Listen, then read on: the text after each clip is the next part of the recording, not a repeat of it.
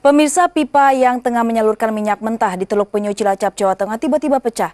Tak pelak tumpahan minyak pun langsung mencemari laut selatan Pulau Nusa Kambangan tersebut. Akibatnya ribuan nelayan tak bisa melaut karena kondisi laut tercemar. Sebagai gantinya, para nelayan bersama warga malah beramai-ramai menampung minyak mentah yang terdampar di pantai untuk kemudian dijual ke Pertamina.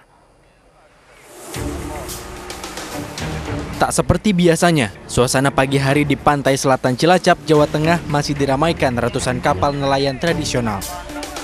Perahu-perahu ini terpaksa ditambatkan lantaran nelayan tidak bisa melaut, lantaran kondisi laut tercemar minyak mentah. Beberapa nelayan yang nekat melaut akhirnya terpaksa balik kembali ke pantai. Tak hanya tidak bisa menjala ikan, akibat tumpahan minyak telah membuat jaring menjadi rusak. Atas kerugian tidak bisa melaut dan kerusakan jaring, nelayan berharap mendapat kompensasi dari Pertamina. Paling sedikitnya itu paling sedikit itu setengah bulan. Kenapa itu Pak? Ya itu dampaknya minyak. Ah, jaringnya rusak juga nggak Pak? Kena itu sih tumpahan minyak. Ah, Jadi nggak nggak bisa dapat ikan. Ya, Ya. nggak ada penghasilan ya. namanya ikan kalau kena minyak kan lagi di akuarium aja kalau nggak steril betul-betul airnya nggak apa kayak komunitasnya itu ya nggak betah juga hidup.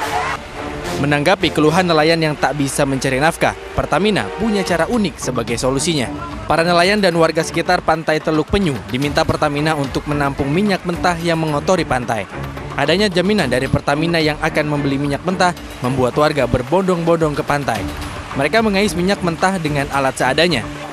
Minyak mentah kemudian dikumpulkan menggunakan drum dan ember. Hari ini nih. hari ini. Iya. Terus ini nanti kalau udah dicari mau di, diapain?